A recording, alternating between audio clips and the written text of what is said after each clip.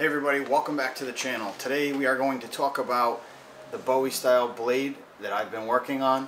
I've had a lot of folks ask me for updates and made comments that were similar to keep us posted, be sure to show us the finished product. So today is that day.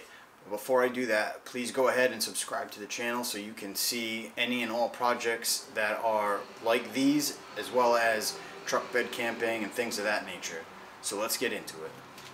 Alrighty. So first things first, let's take a look at the sheath before I go ahead and pull this bad boy out. Uh, this is one of my uh, Kydex and leather hybrids, I call them. This isn't an original idea. I first saw this sort of an idea on another channel. Um, it may have been the Rivers, the Rivers Experience. Uh, I, I'm not 100% sure, but I didn't come up with the idea to adhere leather to Kydex. Uh, not many people do it though, because it can be quite a big quite a big pain in the butt. But essentially, if we can look closely here, this is uh, natural leather that is molded, or sorry, adhered to Kydex. So we've got our typical Kydex layer in there. That's the sheath. Um, we've got a small clip on it here and I've got eyelets all the way down so that this bad boy can be lashed to a pack or a bag considering its size.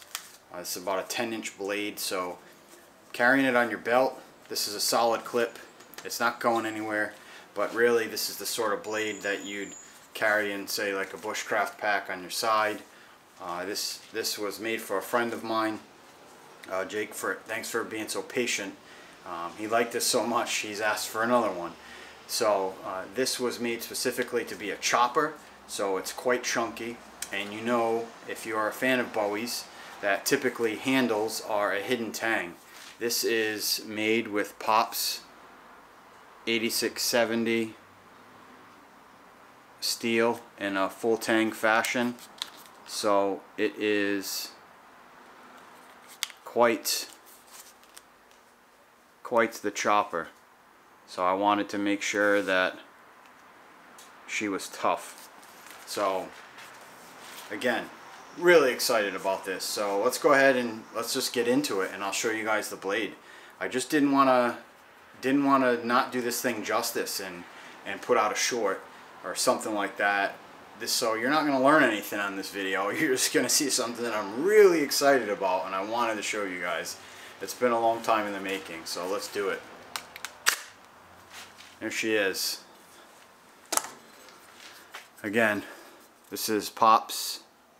Uh, can we get the focus? Working with a new camera as well, so I'm, I'm not very good at getting the focus, guys. So bear with me here.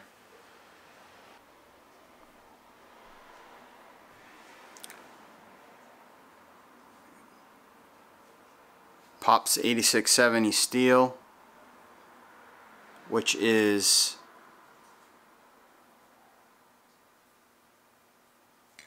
high carbon steel and a nickel.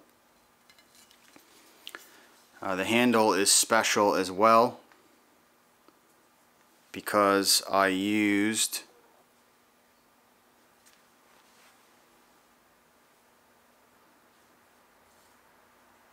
The handle is special as well because I used American chestnut.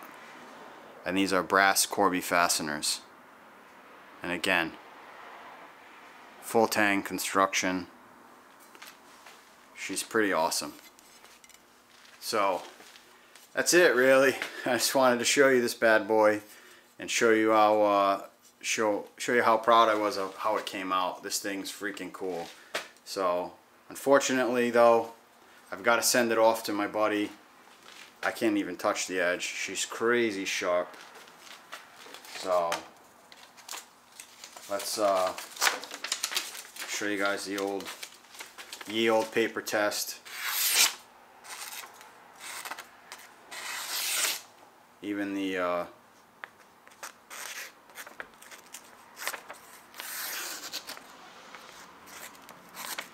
she's got a wide edge on her but still cuts very well, which I'm super excited about.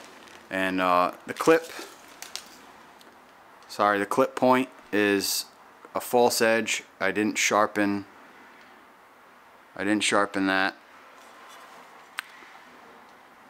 But the edge is, I got a mirror polish and she is like I said quite chunky full tang construction. So haha. Alrighty folks that's it. If you want to see more cool stuff for no reason at all um, go ahead and subscribe to the channel. Like I said I'd appreciate it. We're moving along. Um, this thing's gonna be cool. Hopefully I can get some videos of it in action. Uh, the retention's fantastic on on this big old girl. So strap it to a pack. You put it upside down if you want to. And you know what they say. That's not going anywhere. Thanks for hanging out. We'll talk to you soon.